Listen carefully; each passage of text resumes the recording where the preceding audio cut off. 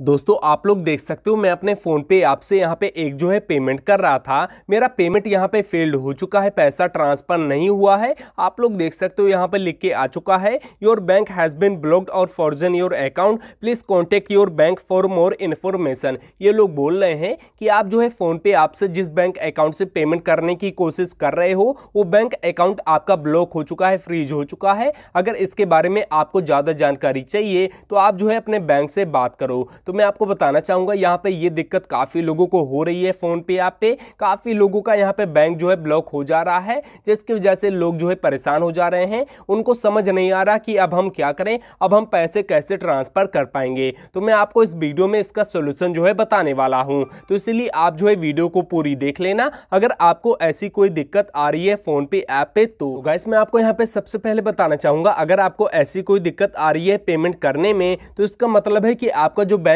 Account है, यहाँ पे फ्रीज कर दिया गया है, ब्लॉक कर दिया गया है यूपीआई ट्रांजेक्शन करने के लिए। अभी आप यूपीआई से अपने बैंक अकाउंट को यूज़ करके यहाँ पर कोई भी ट्रांजेक्शन नहीं कर पाओगे। बेसिकली ये जो है तभी होता है जब आप जो है ज़्यादा ट्रांजेक्शन करते हो यूपीआई को यूज़ करके तो कभी कभी बैंक वाले जो है आपके बैंक अकाउंट पे यहाँ पर यूपीआई ट्रांजेक्शन पर रोक जो है लगा देते हैं। अगर आपको इसको सही करवाना है तो उसके लिए आपको अपने ब्रांच पे जाना होगा, वहाँ पे उनको बताना होगा, तब जाके वो लोग जो है आपका यूपीआई का फीचर जो है अनलॉक करेंगे, तभी आप जो है यूपीआई से अपने बैंक अकाउंट को यूज़ करके यहाँ पे ट्रांजेक्शन कर पाओगे। इसी वजह से ये जो है होता है, जब आप ज़्यादा यूपीआई ट्रांजेक्शन अपने बैंक अकाउंट से यहाँ पे करते हो तो या फिर हो सकता है आपका बैंक अकाउंट जो है के की वजह से यहाँ पे फ्रीज कर दिया गया है, तभी आप जो है ट्रांजेक्शन नहीं कर पा रहे हो। तो गैस अगर आपको आपके बैंक अकाउंट से यूपीआई से ट्रांजेक्शन करने पे ऐसी कोई दिक्कत आ रही है तो उसका जो है एक ही सोल्यूशन है कि यहाँ पे आपको अपने मेन ब्रांच जाना होगा, जहाँ पे आपका बैंक अकाउंट है,